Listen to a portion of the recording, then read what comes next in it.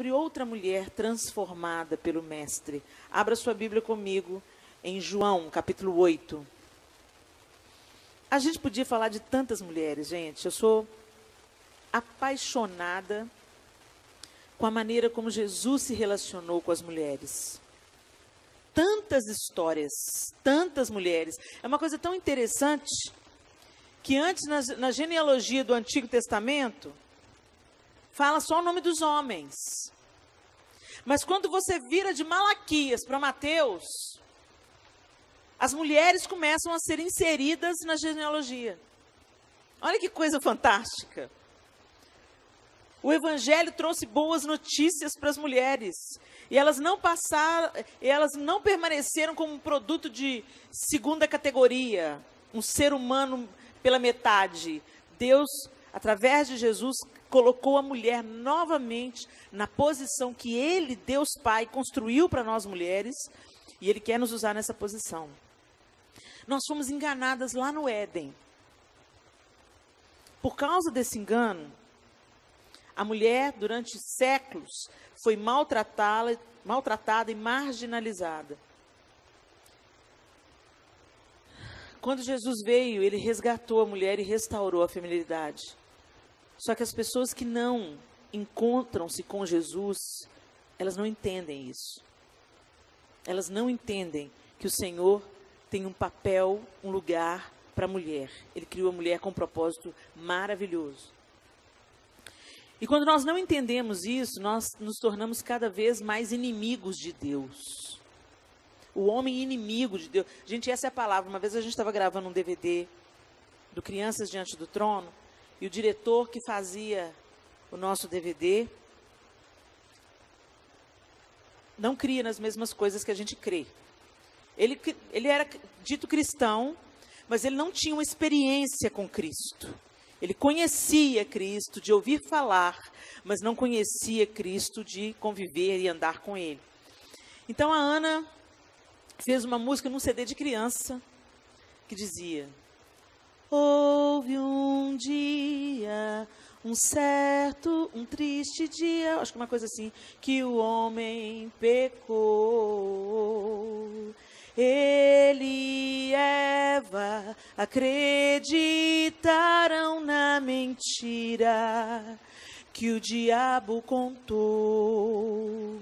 Deus já havia falado: não comam desse fruto mas eles se rebelaram e comeram tudo. O homem e a mulher desobedeceram a Deus, não quiseram mais ser bons amigos de Deus. Eles preferiram morrer, eles escolheram fazer o que era mal o que era mal. O homem e a mulher se tornaram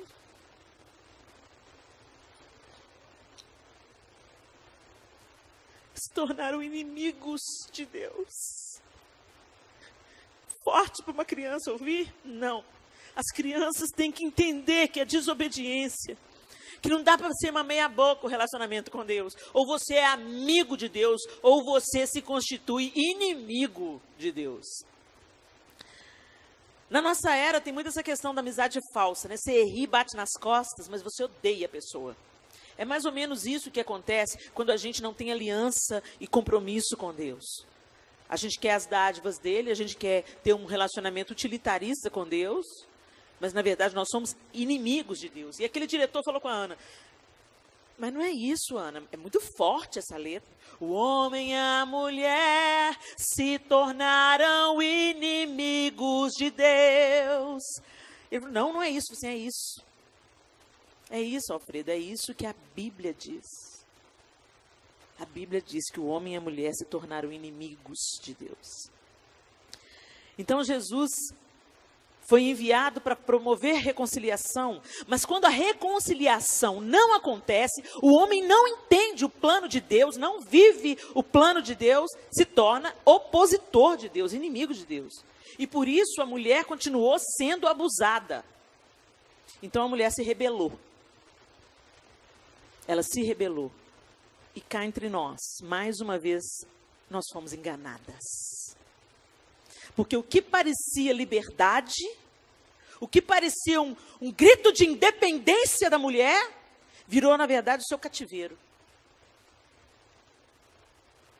Hoje nós temos dupla jornada de trabalho, saímos para ter carreira, mas ficamos culpadas porque deixamos os nossos bebês com a babá, ou no, no maternal, ou no berçário. Os homens se tornaram figuras apáticas, sem autoridade. Agora vão casar para quê? Ele tem sexo sem casamento? Para que ele vai querer casar? Para que ele vai querer compromisso? Para que ele vai querer aliança? Se ele pode ter uma, duas, dez. Nós temos mais doenças sexualmente transmissíveis, nós sofremos violência doméstica, nós, o número de estupros e de abuso nas universidades cresceu assustadoramente. Meninas são molestadas pelos próprios pais, tem algo de muito errado aí. Quando a mulher sai da posição que Deus designou para ela, a família padece, porque a guardiã aquela que enxerga o perigo de longe, saiu da sua posição e foi conquistar sua independência. O homem que era auxiliado pela mulher e alertado do que estava dando errado, continua apático, alienado, fraco. Fomos enganadas pela segunda vez e o Senhor está nos chamando de volta. Então a gente tem que trazer a memória. O que, que Jesus veio fazer? Gente, o que Jesus veio fazer? A gente pensa, né? Não, Helena, ele veio nos reconciliar. Ontem eu estava conversando com o João. E a gente trocando uma ideia, e eu falei com ele, meu bem, sabe o que, que eu acho? Que a gente não tem a menor ideia da totalidade do que Jesus fez. A gente não tem a menor ideia. É muito maior o que ele fez do que está descrito aqui. É muito mais amplo, atinge muito mais coisas. E a gente não enxerga isso porque nós estamos vivendo distraídos com as mentiras bem contadas por este século. Todo o tempo temos que ser lembradas de quem o Senhor é, do poder que Ele tem. E não usufruímos do relacionamento com Deus. Vivíamos só na superficialidade da religião. E nesse capítulo de João, tem um encontro maravilhoso. Eu podia falar de Marta e Maria, que são duas irmãs impressionantes. Eu podia falar da mulher samaritana à beira do poço. Que encontro extraordinário. Naquele capítulo 4 de João, gente, tem muita pregação num capítulo só. Meu Deus, quantas coisas a gente aprende ali. É fantástico. Eu sou apaixonada com João 4 e aquele encontro com a mulher em Samaria o jeito que Jesus chamou as mulheres como discípulas mesmo. As mulheres seguiam Jesus, as mulheres serviam a Jesus no seu ministério, a ele aos discípulos, elas andavam com ele. Maria Madalena chamava Jesus de mestre, ou seja, ela também era ensinada por ele. Por que, que isso não está registrado nos detalhes? Bom, a Bíblia é bem prática, né? ela não entra nos detalhes, nos pormenores. E ela foi escrita num período que mulher não era nem citada, gente. Mulher era um e ela foi escrita pelos discípulos homens. Então eu fico imaginando, era o contexto cultural deles, não era o costume da época falar sobre as mulheres. Mas elas estão aqui. E Jesus jogou tanto holofote em cima de mulher que ele se apresentou para uma ressurreto. Ele mostrou para uma mulher a vitória e falou: agora anuncia. Então é lindo o que Jesus fez e essa história fala de uma delas. João, capítulo 8, a partir do verso 1. Jesus, porém, foi para o Monte das Oliveiras e pela manhã cedo tornou para o templo e todo o povo vinha ter com ele e, assentando-se, os ensinava. E os escribas e fariseus trouxeram-lhe uma mulher apanhada em adultério. E pondo-a no meio, disseram-lhe: Mestre, essa mulher foi apanhada no próprio ato adulterando. E na lei nos mandou Moisés que as tais sejam apedrejadas. Tu, pois, que dizes? Isto diziam eles, tentando-o, para que tivessem de que o acusar. Mas Jesus, inclinando-se, escrevia com o dedo na terra. E como insistissem, perguntando-lhe, endireitou-se e disse-lhes: Aquele que de entre vós está sem pecado, seja o primeiro que atire pedra contra ela.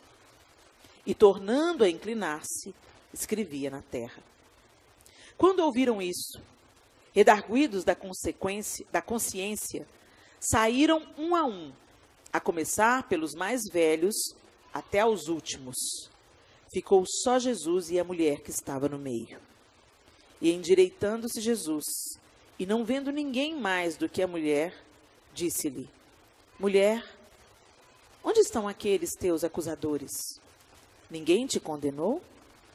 E ela disse: Ninguém, Senhor.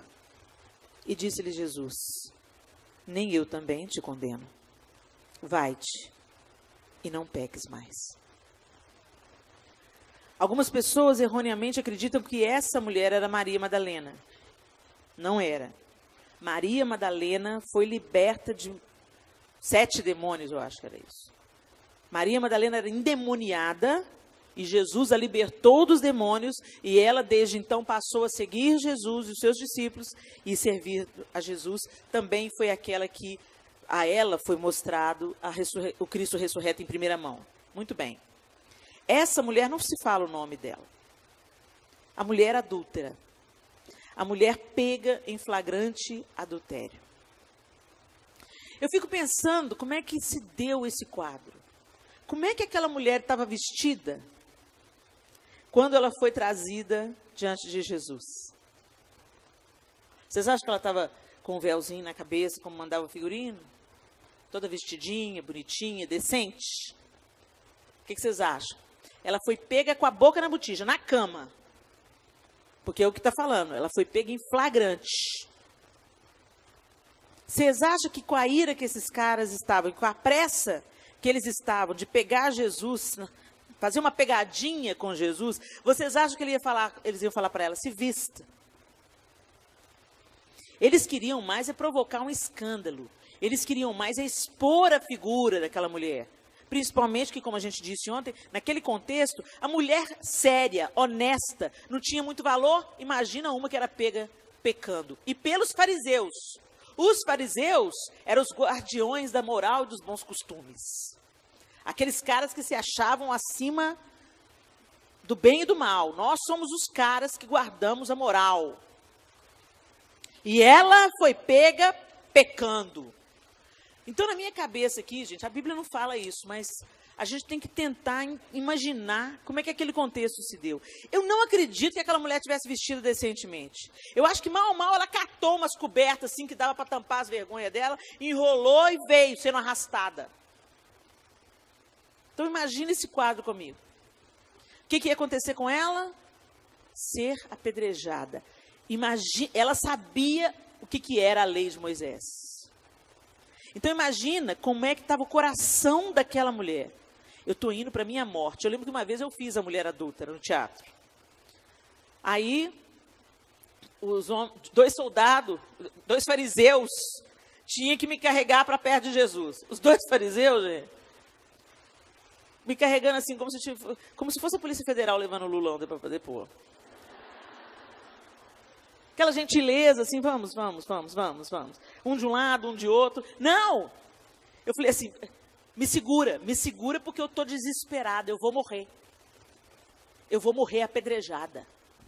Eu estou com medo da vergonha, eu estou com medo da humilhação, eu estou com medo da morte. E eu, não! Eu, eu puxava os dois homens para trás. Vocês são mole, me segura me arrasta, me leva à força. Essa cena tem que ser convincente, né? Então ela estava resistindo, ela estava morrendo de medo, ela estava desesperada, ela estava indo para a morte, porque aqueles homens estavam furiosos com ela. E eles ainda estavam armando uma armadilha para Jesus.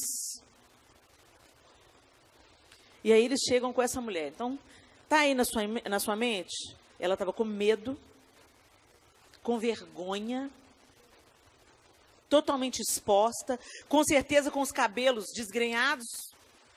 Os cabelos soltos, não era permitido para mulher. Cabelo esvoaçando de mulher, era a mesma coisa dela estar tá com os peitos de fora, gente. Era mais ou menos isso naquela cultura. Cabelo da mulher ser visto, ainda mais voando. Sedução, figura do capeta. Então imagina essa mulher. Imaginou? Aí eles entram pra, com ela no templo. E Jesus está lá ensinando. Jesus está lá ensinando. Mestre, Senhor, ela foi pega em flagrante adultério. E a lei de Moisés diz que ela deve ser apedrejada. Vamos ver o que, que a lei de Moisés diz? Abra sua Bíblia aí, em Levítico 20, 10. Vamos conferir na lei se esses caras têm razão.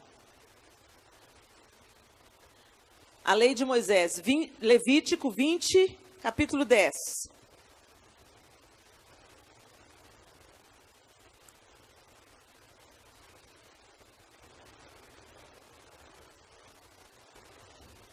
A Bíblia diz assim: Também o homem que adulterar com a mulher de outro, havendo adulterado com a mulher do seu próximo, certamente morrerá o adúltero e a adúltera. Você não precisa de abrir, mas em Deuteronômio 22, 22, fala assim: Quando um homem for achado deitado com mulher que tenha marido, então ambos morrerão, o homem que se deitou com a mulher e a mulher. Assim tirarás o mal de Israel. Tinha um homem com ela? Ela foi trazida sozinha, embora tenha sido pega em flagrante. Como que ela foi pega em flagrante sozinha?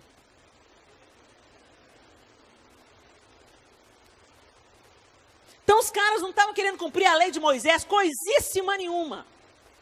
Eles estavam com ódio daquela mulher, porque mulher já era figura alvo de ódio mesmo, e queriam aproveitar aquela história, sabe-se lá se essa história foi até armada, com um amigo parceiro deles, você deita com ela, que aquela ali é facinho, carente, pega ela, e a gente vai ter uma situação para enquadrar Jesus.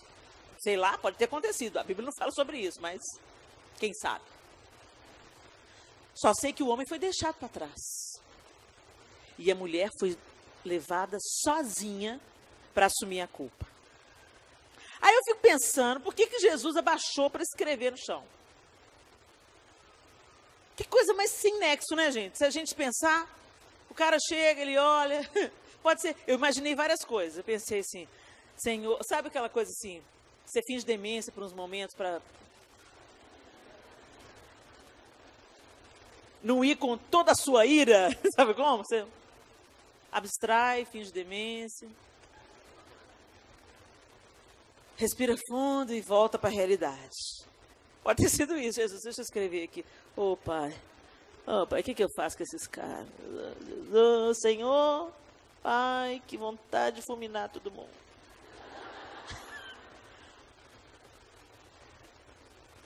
Ele está escrevendo. Outra possibilidade que tem dele estar tá escrevendo: tirar a atenção dos olhos sobre a mulher. Imagina, todo mundo. Uh, uh, uh, imagina, ele estava ensinando, então tinha gente ao redor dele. Imagina, as que estavam de véu, todas certinhas, bonitinhas. As crianças, os curiosos, que vieram no cortejo atrás da mulher sendo arrastada cidade afora. O que, está rolando? O que, está rolando? Qual que é o barraco? Jesus talvez estivesse escrevendo no chão para trazer os olhos para Ele e dar tempo dela se recompor. Não sei. Do jeito que ele é amoroso, isso é a cara dele. Isso é a cara de Jesus pôr o holofote nele, a atenção nele, a curiosidade nele. O que, que ele está escrevendo? O que, que ele está escrevendo? Alguém consegue ler? O que, que ele está escrevendo? Enquanto isso, ela se consertava, joga um pano aqui, prende um pouco o cabelo aqui, deixa eu me melhorar. Pode ter sido. Mas eles estavam ali experimentando Jesus. E Jesus levanta, e joga essa bomba. Como é que o Senhor faz isso, né? Ok. Aquele que tiver sem pecado, pode começar.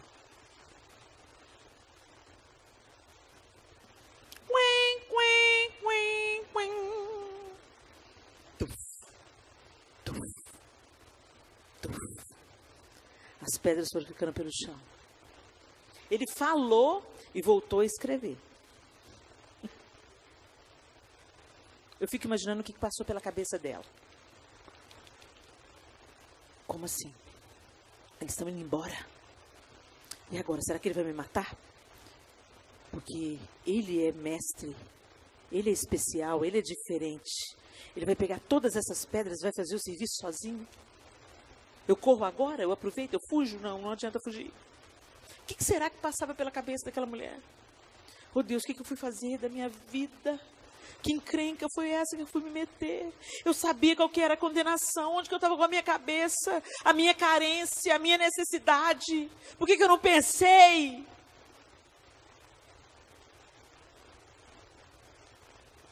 E ele se levanta de novo. Olha para ela. Eu fico imaginando os olhos dele, gente.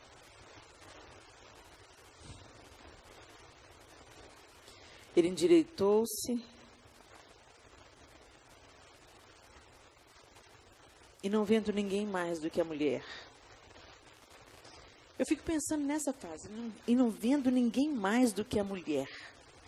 Não significa que eles estivessem sozinhos. Porque alguém registrou isso. No caso aqui, João.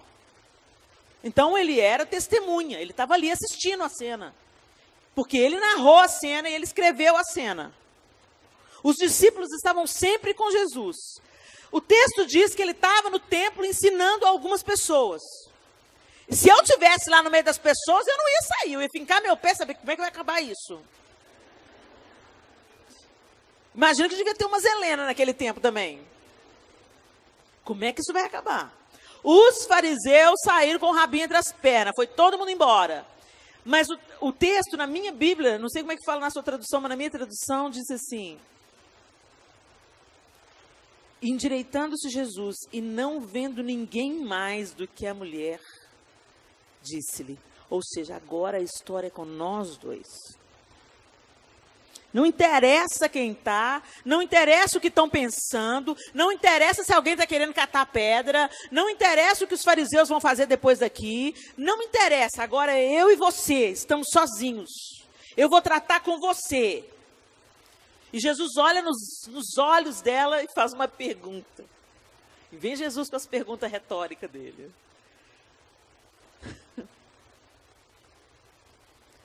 Mulher eu estava vendo esses dias, gente, que essa palavra mulher, às vezes é vista para a gente como uma coisa é, desonrosa, forte, irritada, né? Por exemplo, quando ele se, ele se refere a Maria, ele fala: Que tenho eu contigo, mulher? Ainda não é chegada a minha hora. Mas eu estava lendo alguns estudiosos falando que esse mulher não é, ele não tem um contexto que ele tem hoje no nosso tempo. Ele não é alguma coisa fria, alguma coisa distanciando. Nesse caso, mulher era quase querida, irmã, era uma coisa nobre, era uma coisa gentil. Ele chamava uma pessoa de mulher. Não era uma coisa. De... Aí eu fico imaginando mulher nordestina, né? Ei, mulher! Toda vez que uma nordestina te chama de mulher, ela chama assim, te joga para cima. Como é que você tá, mulher? Tá bonita, mulher? Então eu fico imaginando que deve ser uma coisa meio nordestina esse mulher aqui. E Jesus vira para ela e fala: Mulher, onde estão aqueles teus acusadores? Ninguém te condenou?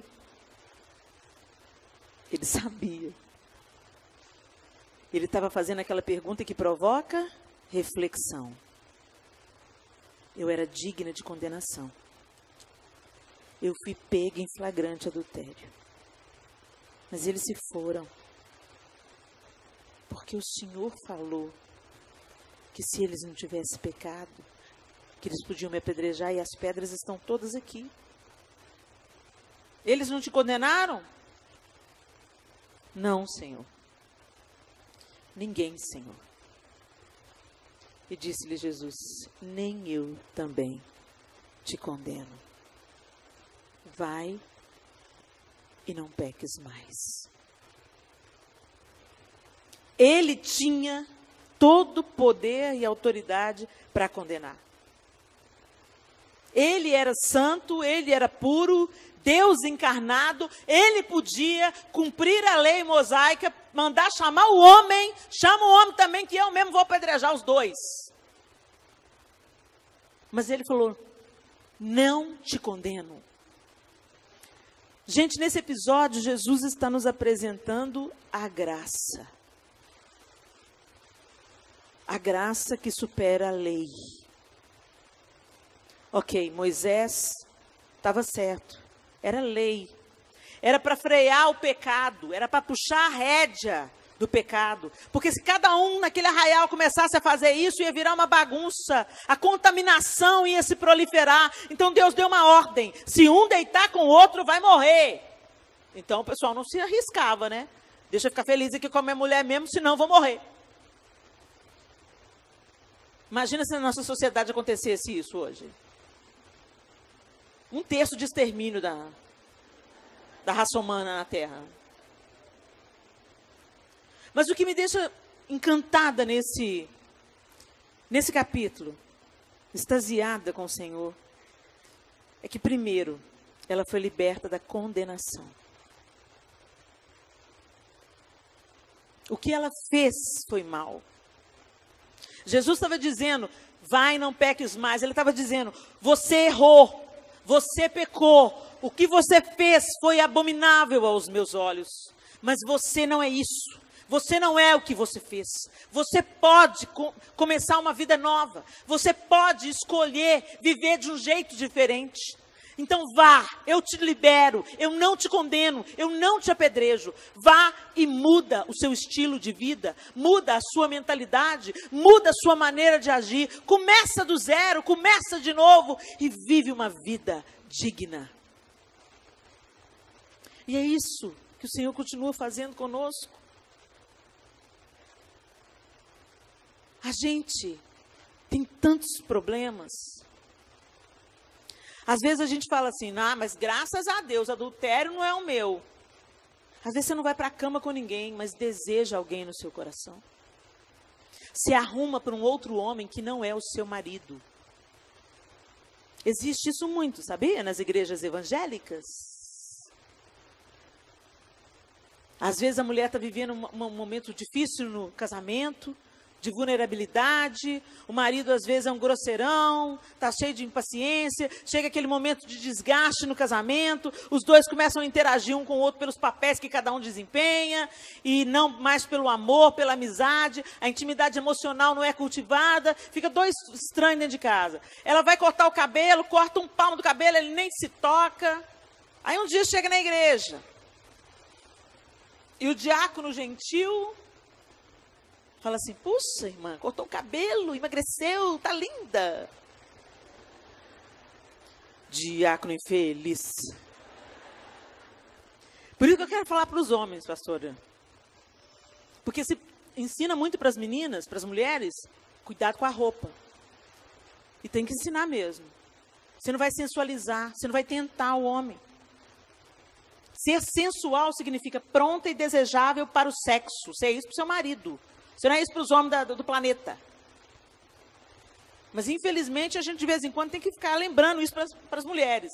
Agora, ninguém ensina para os homens que o, o, homem, todo mundo sabe que o homem é visual. Mas ninguém ensina para os homens que as mulheres são auditivas. Aí chega o Galalau e fala, tá linda. Aí ela fica, ah, obrigada. Aí vai com aquilo para casa na cabeça. Olha, sou linda. Aí o marido, entra aí. Ela pensa, lá, ah lá, o outro. Fulano, diácono, me disse que eu sou linda. E eu tô aqui casado com essa porta. Me valoriza. Aí no domingo que vem, ela se faz mais bonita ainda. E passa no diácono. A paz do Senhor. Tudo bem? Aí o diácono abençoado fala assim: tudo bem, esse vestido é novo? Daí a pouco os dois engancham um papo, uma conversa leva a outra. Aí ela começa a desabafar para ele como é que o marido dela é difícil, como é que o marido dela não. Você percebeu quanto meu marido. Meu marido, infelizmente, irmão, meu marido nem nota que eu corto o cabelo. Eu tiro a sobrancelha, ele nem percebe. E aí o Galalau fala: Como que não percebe? Você é tão linda. Vamos almoçar junto? Eu estou inventando, pastor Eliette. Gente, isso acontece uma, duas, dez vezes. Meninas recém-casadas. Aí vê as meninas vir para o gabinete. Ai, casei errado. Casei errado. Mas peraí, fulano, você casou tem sete meses, ainda está apertando parafuso? Não, não é ele. É o guitarrista novo que chegou na igreja. Deus me falou.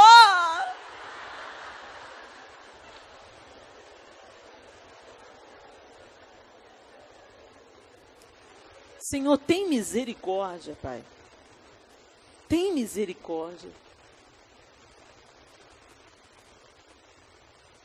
A gente não vai para a cama de um dia para o outro, não. A gente vai se envolvendo emocionalmente. Talvez você está aqui hoje, Deus te trouxe aqui hoje para te falar. Você está no meio do processo, né? Interrompa esse processo em nome de Jesus. Volte os seus olhos para o seu marido. Ele pode ser uma bisca, mas deve ter alguma coisa de boa. Você casou com ele?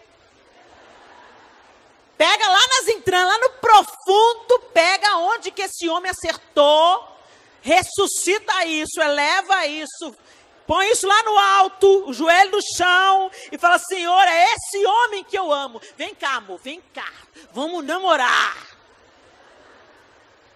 Esse que é o seu homem. De vez em quando vem os galalau tirar foto comigo. Põe a mão na cintura, irmão. Põe a mão no ombro. Outro dia um cara de pau virou para mim e falou assim, pastor, na frente do João, pastor, esse é maior gata. Meu marido também acha. Eu já virei a cara e fiquei olhando para o João. Tchau, some daqui, capeta. A gente tem que interromper a conversa fiada. E ter coragem de falar. Às vezes um homem casado falar, puxa, você está linda, fala isso para sua mulher. Talvez ela está precisando de ouvir corta o barato desse cara, mas a gente fica. Ah, ah, obrigada. Para com essa carência desesperada que vai te levar para a cova. Valoriza o homem que você tem. Pede a Deus para restaurar o seu casamento. E se você está vivendo, se você está indo para a cova, cheio de elogio, os capetinhos tudo pulando atrás, toma juízo, mulher toma tenência, toma posição de mulher de Deus e faz: não vou almoçar com você coisa nenhuma, meu irmão. Vou almoçar com meu marido. Para de confidenciar para homem. Se você precisa de conselho, procura uma mulher de Deus. Mais velha de preferência. E que saiba dizer a verdade na lata. Porque às vezes a gente. Sabe aquela amiga que adora o crime junto com você? Aí é ela que você vai buscar conselho. Aí, amiga, o que, que você acha? Fulano tá fazendo assim, assim, assim. Aí a amiga do cão fala assim: minha filha, a fila anda. Parte para outra, esse, esse cara não te valoriza. Foge dessa amiga. Eu já, gente, eu conheço história de mulher que aconselhou a, a, a, a amiga, ela lascou fora, chutou o marido, ela entrou em cena e pegou o marido da outra. Fica esperta. Acorda para a vida. Deus sabe por que eu estou falando isso, não estava no roteiro, não. Interrompa esse processo. Então, às vezes, a gente se acha muito santa, porque a gente não foi para a cama com alguém, mas o pecado jaz à porta do nosso coração. Temos pensamentos impuros. Quantas mulheres estão envolvidas com pornografia? Querem se estimular e vai comer, correndo atrás da pornografia. Isso é um laço do inferno que traz consequências para a nossa cama. Quantas mulheres com desejos homossexuais? É tempo de nós entendermos que nós precisamos de Deus. Nós não somos as feras. É muito fácil a gente enxergar o pecado do outro e não enxergar o nosso próprio pecado. Mas essa mulher não tinha como se esquivar. Ela foi pega em flagrante adultério. Ela era culpada. E Jesus disse para ela: Você é culpada, mas eu não te condeno. Eu estou te dando uma outra chance de não se tornar isso que você está fazendo e de começar de novo. E o Senhor está falando a mesma coisa para você hoje. Eu não sei que vida que você está levando. Talvez, minha querida, você já esteja, já tenha concebido o pecado. O adultério já aconteceu. Você está tendo um relacionamento extraconjugal. Eu quero te dizer para você: você não é isso. Você não é isso que você está fazendo. Interrompa isso. E vem para a vida. Deixa Deus te restaurar. Deixa os olhos de Jesus encontrarem com seus olhos e dizer: tampouco eu te condeno. Contudo, vai e começa de novo. Vai, não peca novamente. Não fica atolada no pecado, acostumada com o pecado. E às vezes a gente pensa que o pecado é o adultério, o pecado é o envolvimento ilícito, o, o, o sexo antes do casamento. Às vezes você é solteira, está aqui e está mandando ver. Vai para o motel depois do culto. Minha querida, interrompa isso, isso é maldição, desobediência para sua vida, vai trazer consequências no seu casamento, mesmo que você case com esse cara. Começa de novo. Começa de novo. Fala com ele, olha, a gente não vai mais para a cama. Isso está errado, isso é desagradável a Deus. Se ele falar, então já deu, não estou querendo não, então some da minha vida. Você não precisa de um homem que não te leva para a presença de Deus, que não te ajuda a se manter na presença de Deus. Interrompe esse relacionamento em nome de Jesus. Se for preciso, termina esse namoro. O que é ruim tem que sair para o bom entrar.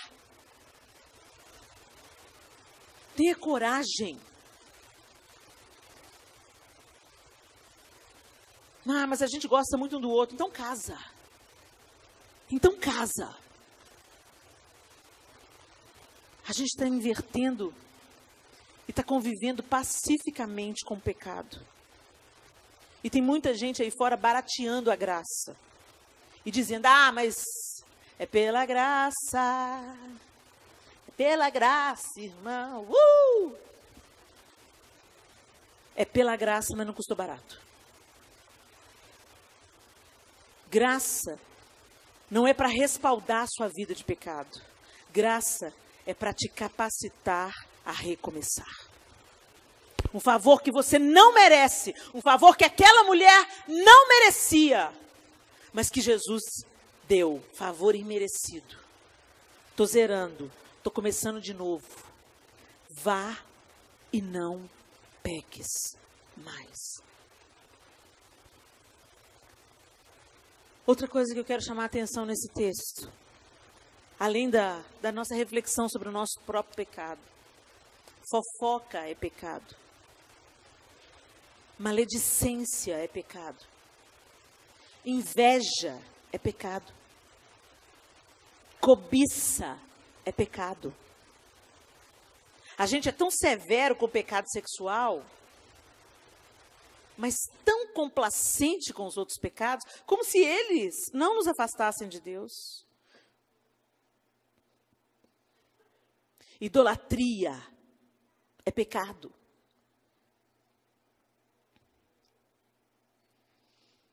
Eu vejo as pessoas fazendo campanha para ter apartamento novo, para receber uma promoção no emprego, para conseguir passar no vestibular, mas eu não vejo o povo fazendo campanha para ficar livre da inveja. Eu não vejo o povo pôr na boca no pó, vim aqui orar, sete sexta-feira, eu vou pôr a boca no pó até Deus me libertar da cobiça, da maledicência, da língua grande, da fofoca, da murmuração. Tudo isso nos separa de Deus. Mas a gente pensa que não, que o pecado do outro é maior do que o meu. Eu fico vendo na internet.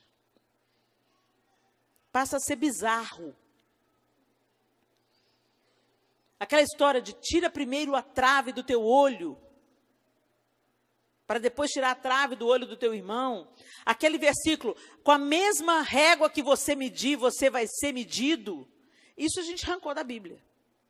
Os juízes estão lá todos de plantão na internet, cozinhando aquele que pisou na bola, falou uma besteira, exagerou em alguma coisa.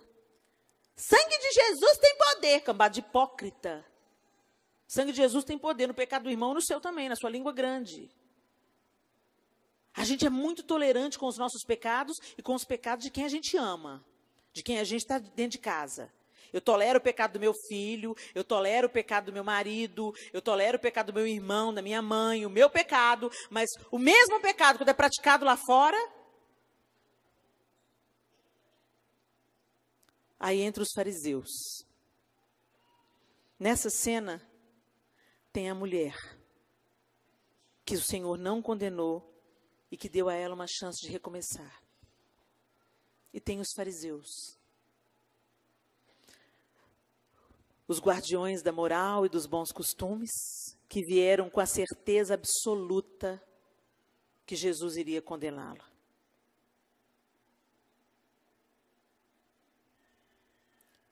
Sabe aquela pessoa que você conhece, que você tem certeza que Jesus vai condená-la? Você tem alguém? Pensa aí. Sabe aquele seu patrão que pega no seu pé? Que você pensa, macumbeiro. Jesus vai fulminar ele.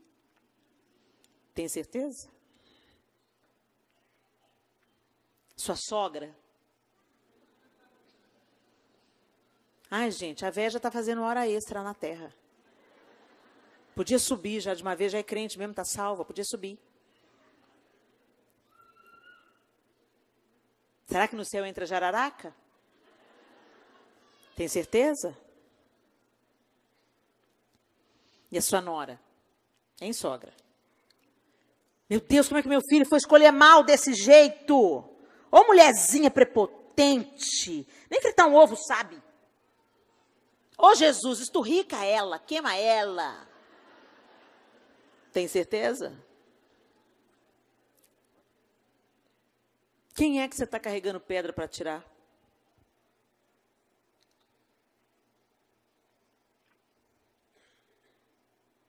A gente anda bem armado. Eu nunca vi uma igreja com tantas pedras nas mãos como as, a nossa igreja contemporânea. O que, que te faz pensar que você é melhor do que alguém? A gente põe uma Bíblia desse tamanho debaixo do braço e pensa que é melhor. Ai, eu amo tanto fulana, mas ela é católica. Jesus tem que salvar. E quem te diz que só evangélico vai ser salvo? E quem te disse que Jesus veio fundar a religião evangélica?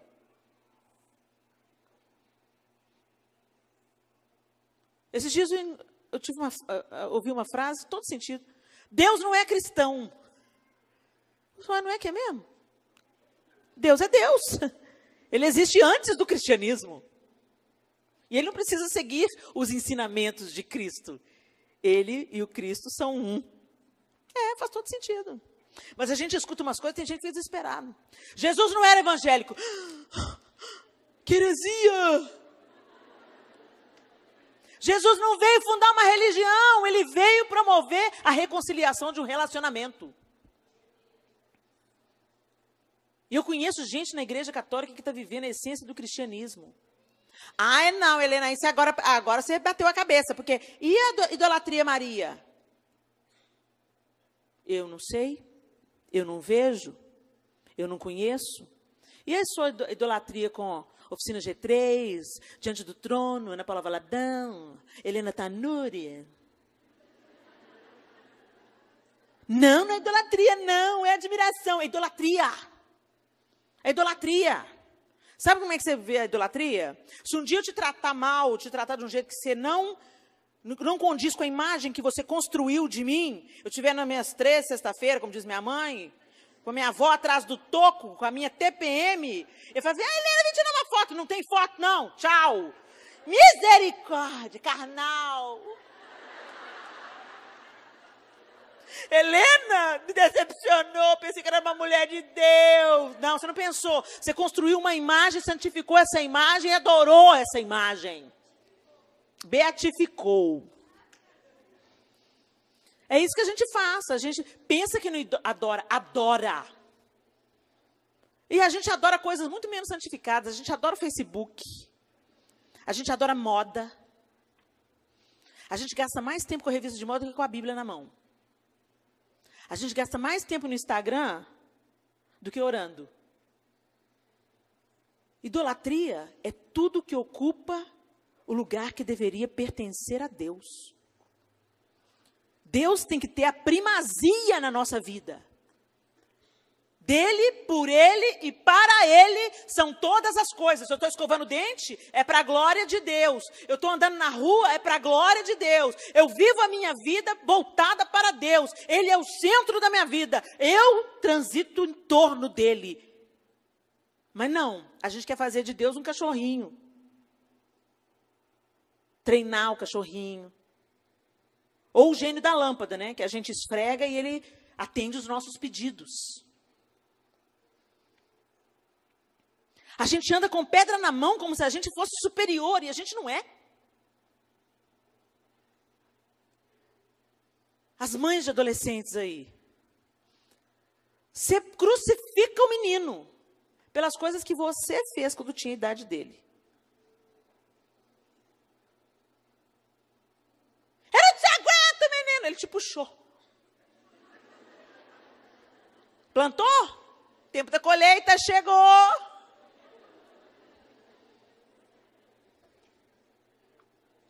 O que, que você está plantando, mulher? Por que, que você está condenando as pessoas, sendo que você precisa ser perdoada? Você precisa ser melhorada. Você precisa receber outra chance de recomeçar. Oh Senhor, eu quero ser menos irada. Eu quero ser mais mansa, Senhor. Me perdoa, eu preciso recomeçar. Sara-me, Senhor. Sara o meu coração invejoso, Senhor. Eu não consigo me alegrar com a vitória da minha irmã. Me sara, Senhor, eu não quero ser invejosa. Me libera para recomeçar. Me sara, Senhor, da minha maledicência. Como eu sempre tenho o dedo em riste para alguém, sempre falando mal de alguém, sempre expondo a nudez de alguém. Eu tenho uma necessidade doentia de expor a nudez do outro, o pecado do outro. Isso me faz me sentir melhor. Minha querida, o Senhor tem plano de vida para você. Ele não quer te condenar. Mas ele impõe uma condição. Vai e vive uma vida diferente. Vai e começa de novo. Vai e toma posse do seu perdão, não desperdiça. A gente até se esqueceu como é que é se arrepender de pecado, gente. A gente pede muito avivamento, né? Ah, Deus, manda avivamento, manda avivamento. Não existe avivamento que não seja precedido de arrependimento de pecados. Então nós precisamos de orar da seguinte forma: Senhor, me convence dos meus pecados. Eu preciso ser convencida dos meus pecados. Acende a luz no quarto escuro do meu coração e me mostra qual é a mazela, qual é a lepra que está me fazendo ser prepotente, orgulhosa e pensar que eu, não, eu sou melhor do que o outro. Gente, nós não somos melhores do que ninguém. Não somos melhores do que ninguém. Feche os seus olhos.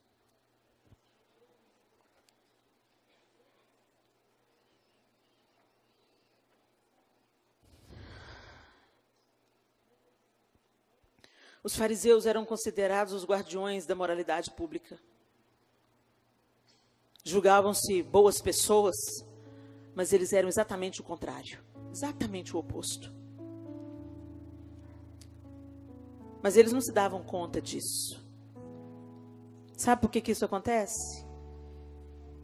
Isso acontece sempre que a lei e a religião tomam o lugar do relacionamento de amor. Sempre que a lei e a religião forem uma primazia no nosso coração, a gente se julga superior aos outros. Mas quando a gente se depara com o nosso próprio deslize, o nosso próprio desvio de caráter, o nosso próprio pecado reincidente, aquele que está sempre batendo na nossa porta. E a gente se achega a Jesus e ele diz: Eu não te condeno, mas você precisa mudar. Eu condeno o seu pecado. Por isso você precisa de mudar de estilo de vida, senão você não tem parte comigo. Vai, não peques mais. Naquele dia ele a liberou. Libertou da condenação e libertou para começar de novo. E o Senhor quer te libertar para começar de novo.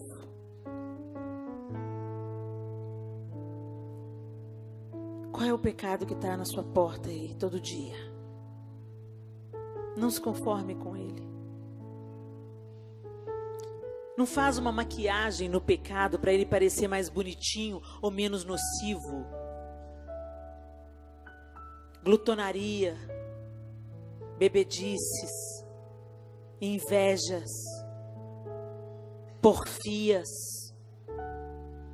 maledicências. Todas nós temos o nosso calcanhar de Aquiles. Todas nós carecemos da graça de Jesus. Todas nós estamos seminuas diante do Senhor, com os cabelos desgrenhados ao vento, precisando desesperadamente de absolvição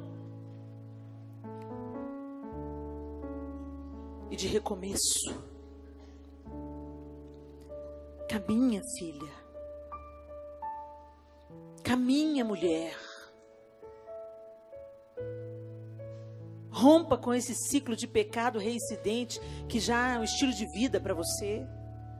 Masturbação, pornografia, maledicência, inveja, ciúmes.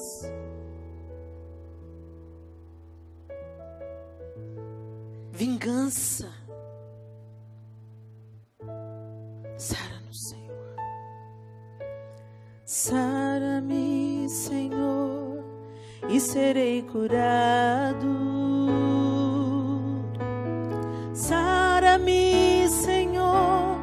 E serei curado. Sara-me, Senhor, e serei curado. Sara-me, Senhor, e serei curado e serei curado, e serei curado pelo teu amor.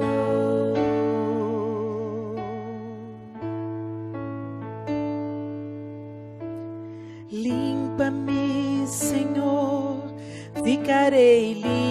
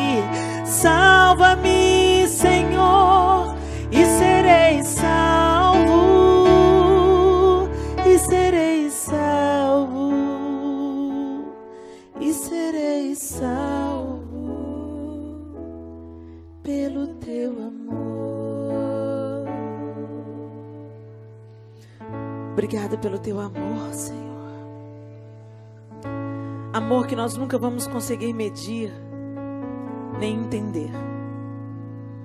Amor que cura e que nos libera para avançar. Pai, eu não conheço na intimidade essas minhas irmãs que o Senhor reuniu aqui. Mas o Senhor conhece tão bem. O Senhor sabe a área onde cada uma tem dificuldades. O Senhor sabe os pecados reincidentes de cada uma. O calcanhar de Aquiles de cada uma. E nós sabemos que o Senhor nos ama apesar de. Mas nós não queremos permanecer como estamos. Nós nos identificamos com aquela mulher, Senhor, pega em flagrante adultério. O Senhor nos pegou em flagrante nessa noite. Nas nossas mentiras, iras, divisões, cobiças, invejas, orgulho, altivez, autossuficiência. O Senhor nos pegou em flagrante, Pai. E seminuas diante de Ti te pedimos perdão, Senhor. Nos ajuda. Que o mesmo olhar de amor que atingiu em cheio aquela mulher, não a condenando, que Ele venha sobre cada um de nós nessa noite. Que sejamos livres, Senhor, libertas das correntes que nos aprisionam, dos desejos sombrios que nós mesmos alimentamos. Nos dê a coragem, Senhor, e a capacidade, a força necessárias para interromper o ciclo de pecado que já está estabelecido na nossa mente, no nosso comportamento, nos nossos relacionamentos, Senhor. Também não queremos nos tornar como os fariseus. Que o teu perdão sempre nos lembre de ter compaixão e estender a graça que nos alcançou. Muitas de nós aqui têm pedras nas mãos, Senhor, e as atiramos contra nosso semelhante, como se nós fôssemos superiores. Nós não somos. Nos mostra isso, Senhor. Nós não queremos ser também como os fariseus, Pai, enganados a respeito de si mesmos, confiados na nossa justiça própria. Tem misericórdia de nós. Que a gente seja conhecido, Senhor, não pelo povo que apedreja, pelo povo que julga, pelo povo que condena, pelo povo que amarra e joga no inferno, mas que nós sejamos conhecidos como o povo do amor, o povo que abraça, o povo que ensina, povo que está disposto a ter trabalho, porque amar dá trabalho. É mais fácil a gente condenar. Nos ajuda na nossa debilidade e nos transforma, Senhor. Ô oh, Mestre, queremos ser transformadas para transformar. Em nome de Jesus.